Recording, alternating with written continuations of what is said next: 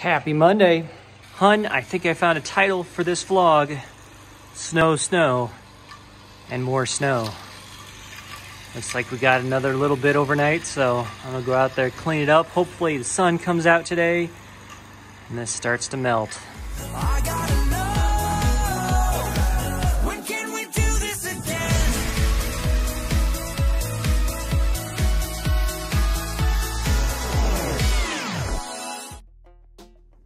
And this, this is all ice. Here, we'll go on level so you can see the ruts.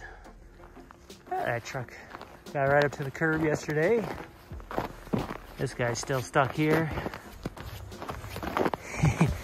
you better pick early which way you want to go through this intersection because I think once you commit, I think you might be stuck. Yeah, a little bit better than job well done. Whew. And Irene, she's over here making split, split pea, pea soup. soup. Sounded good for a snow day, and I don't know why. Probably because it's green, but it feels St. Patrick's-y to me. Plus, I just love a good split pea soup. And we have lots of yummy ham in the freezer right now, so just getting my parsley chopped up. I've got split peas, like well-washed split peas, and then I've got some garlic and onion and carrot in there, and I'm gonna add in some Italian parsley, some thyme, salt, pepper. Um, I put a bay leaf in there as well, and some ham and chicken broth, and then we'll let it cook all day in the crock pot, and mm. should be delicious tonight. All right, my soup is all assembled and cooking away. So I did do a couple shortcuts on this recipe and I'll post the recipe link in the description if you guys wanna try this at home. Um, but I did just use diced ham. You're supposed to put like a whole ham bone in there, but we just had that really nice diced ham in our freezer. So I put that in there. And then um, you're supposed to use like real like thyme and actually cut it up. Um, but thyme is kind of expensive to buy. Um, I want to grow an herb garden this summer because thyme is not expensive to grow, um, but it's just exotic enough, I guess, um, that it's a little bit more expensive to buy at the grocery store. So I have like the ground thyme and I use that, but I did like half the amount of thyme just because I feel like it's more concentrated when it's that like dried powder thyme versus if I had gotten like fresh thyme and actually like cut it and chopped it up myself. So those are the only two shortcuts I took on this recipe. So we'll see how it tastes, but I'm really excited about it. Um, basically, it's gonna cook for eight hours in the crock pot, and then when it gets close to done, um, you would take the ham bone out and shred the ham off, and then kind of mash up the peas and remove the bay leaf. So I'm thinking when there's like about two hours left, um, I'll take the bay leaf out and mash up some of my peas and stir it around, and then just let it cook for another two hours. And then you can add additional chicken broth at that time if you need to, based on the consistency. So we'll see how it's looking. I did put in a full container of chicken broth, which is four cups of chicken broth. So hopefully that's enough, but if not, um, I can certainly add in some more tubes. We'll see, but I like my split pea soup kind of like thick. So I'm really hoping that it turns out that way. Um, I, I love split pea soup, but I've never really attempted to make it raw from split peas. So we'll see. I hope this is a great recipe and it's one that we can do over and over again because it was really pretty simple. There was quite a bit of prep, just cutting up the onion and the carrot and the parsley. Parsley is like literally my least favorite thing. So if you have any tricks on how to speed up the process of chopping parsley, I just feel like it takes forever to get the leaves off. And I know they make like fancy little like tools that like help you strip leaves off, but I don't know, are they gimmicky? Do they actually work? If you use something to speed up the process of cutting parsley, leave it in the comments because I would love to know. It's my least favorite thing to work with in the kitchen. All right, now I'm gonna go get my workout and get the vlog edited so we can get that up. We've got so many vlogs coming out this week. It's gonna be a busy, busy week with St. Patrick's Day and spring break and hopefully snow melt and transition to spring. All right, workout time. So Noom update. Officially, I've been doing Noom for one week. So I am through the free seven day trial and now I'm on to my like three month um, subscription. Um, so I did pay, I think I paid $98. I'm not sure if I said this or not, but I paid $98 for three months. I was able to find a promotional code online that gave me a discount. So $98 for three months. And then I did pay an additional $49, which was a promotion at the time of joining for a custom fitness and nutrition plan. So I'm going to start the fitness plan today and see how that contributes. Um, I am down almost three and a half pounds from my first week, um, like 3.2 pounds. Um, so I know that's not like a sustainable weight loss. I really think just from it being my first week and making like changes to my diet, just being more conscientious of how many calories I was consuming and how many calories I was burning and being super consistent with working out every day, drinking all my water. I think being really dedicated to that for an entire week. Um, to me, it felt like kind of my system was cleansing itself. So I don't anticipate I'm gonna lose three and a half pounds a week, nor do I feel like that's sustainable. But I feel like the first week, it's not a huge surprise to be down that much. And it's pretty common, I think, for a lot of people that have joined Noom and their experience is to kind of have you know, more drastic weight loss that first week because your body's just resetting and really like balancing itself out. So instead of like kind of maintaining my weight and gaining weight, I'm actually eating as many calories as I need to be with an output of energy to actually lose weight. So um, I'm hoping to lose maybe like one to two pounds a week would be awesome. That would help me hit my goal of losing 20 pounds before our trip in July. So we'll see how it goes. But today I'm gonna start my custom fitness plan. So let me just show you what that looks like. Um, I think this is normally like $150 if you just buy it outright, but they do have these promotions when you join. So I thought, you know what, I'm just gonna go for it and just see what I get. So let me show you what I got with my $50 promotional joining fitness and nutrition plan. So when I did these, I filled out a little survey that kind of laid out my preferences, like how I like to eat, how I like to work out, what kind of an eater I am, all those sorts of things. And then I got these two PDF guides. And I won't lie, I was a little disappointed when it ended up just being these like PDFs. I was like, really? Like for 50 bucks? But as I dive deeper into them and really look at it, there's a lot of good information and I do feel like they're really more so custom tailored to me. I feel like the workout plan is maybe more than the meal plan, but we have so many allergies. So any sort of like diet nutrition thing that I've ever tried to do is really challenging when you have dietary restrictions in addition to trying to do like some sort of um, diet change. So we'll see how that goes, but they do have a lot of recipes. Um, so it's a 19 page PDF and it's got all kinds of information in it. So I won't go as much into the meal plan this time because I'm not necessarily going to tackle that this week, um, but I am going to dive into this fitness plan. So it is a 32 page document, um, and what it does is basically, um, I told them I want to work out probably five to six days a week. Um, probably more realistically, I will aim for seven, but I like to have at least one rest day in there um, because, you know, life happens and you just never know. And I think you have to give yourself a rest day. It's healthy to have a rest day, but um, by saying seven days, I may like, instead of like having a rest day, I still want to at least like walk and hit my steps on that day. So um, I probably will be active seven days a week, but maybe not necessarily working out seven days a week. So basically it just kind of gave me this plan um, and it breaks everything down on kind of what they are. And then what I do like is that not only does it give you this, and this does feel very personalized to my preferences and what I told them and how I like to work out and what my goals are. So that felt really good.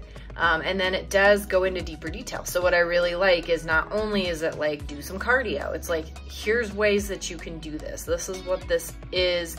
This is what it looks like. This is what it could be. Here's some options. Here's high intensity options.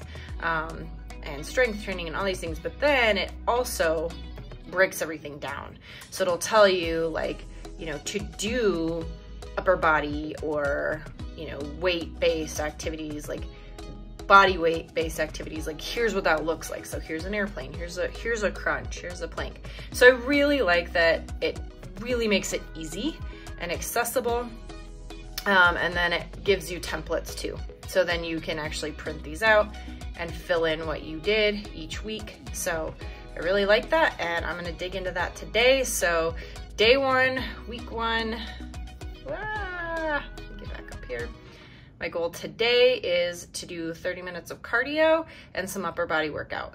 I am still feeling pretty sore from doing all that snow removal yesterday, but I'm gonna keep with it because one of the things I've learned in all the years of doing this is that if you're sore, keep going. It definitely helps you to build that muscle tone and honestly helps so you don't feel even more sore. All right, done with my cardio. That was like the fastest 30 minute walk on a treadmill I've ever done.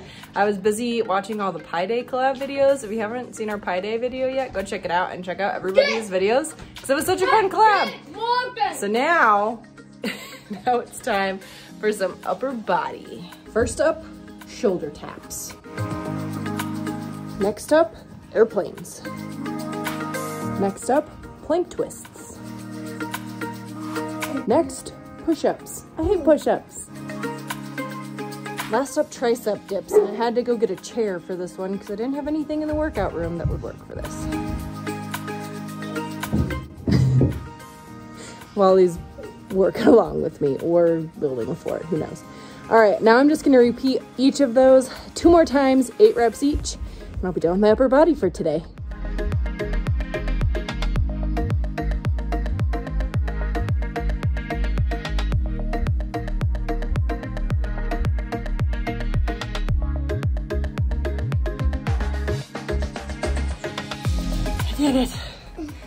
Forgot how much upper body sucks. Yeah. Hot, I can feel the burn. But I did it.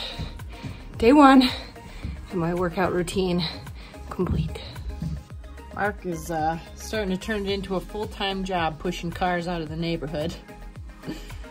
this guy's been stuck here for a while and plows are getting ready to come through, so Mark's helping him get it moved out. It's a gorgeous day after a snowfall. Got my snowshoes on. Wally's got his sled out. Watch out, Biggs! Ah! Yikes, it was almost a clothesline.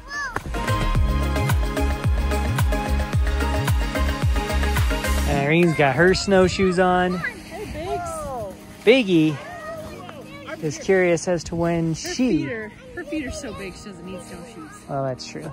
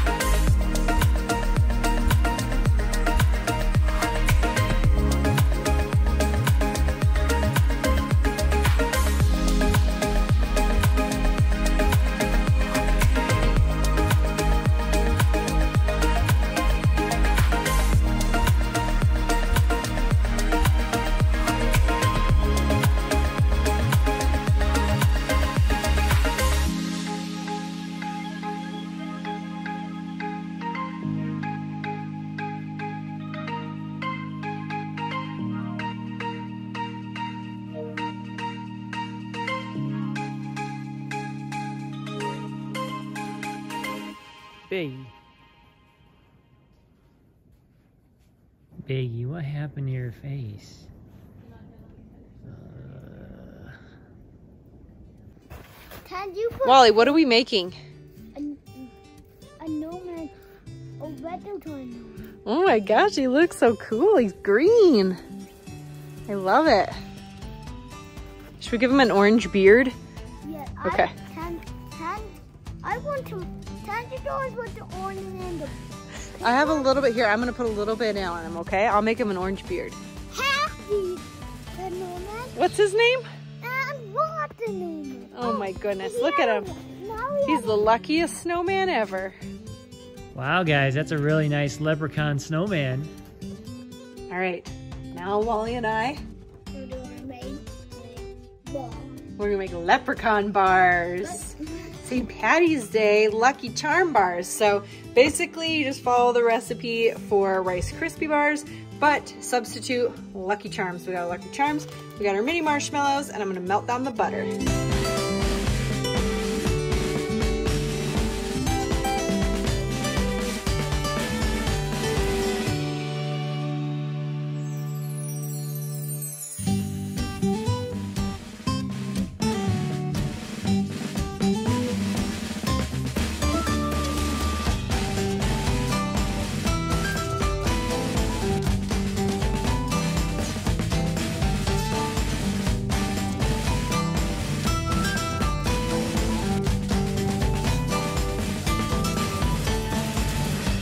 Well, these look magically delicious. That's gonna be a really yummy dessert after some really yummy split pea soup. Well, that looks perfect. Oh my gosh, I love split pea soup. Leave a comment down below if you like split pea soup because I know a lot of people hate it, but I love it. And we made some cheddar grilled cheese to go with it. Looks so delicious. Perfect pre St. Patrick's Day dinner. All right, well, it's Monday night, and I think we're gonna end the vlog here, which we think never a good ended on idea. a Monday.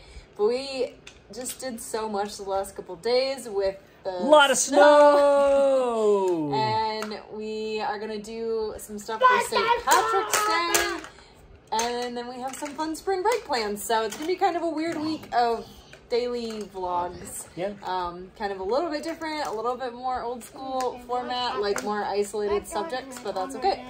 We right now are gonna work on building Wally's epic Hot Wheel leprechaun trap. Oh, oh, oh.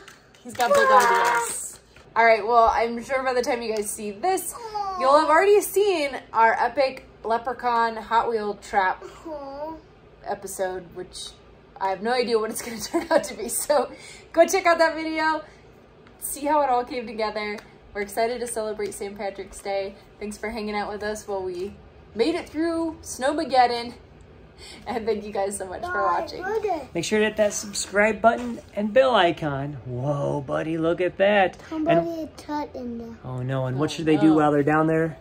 Please hit the tie button and that. Yeah, And you please get that. I'll get that out, buddy. This is the Right wonderful world of Walter. We love you just the way you are. Bye.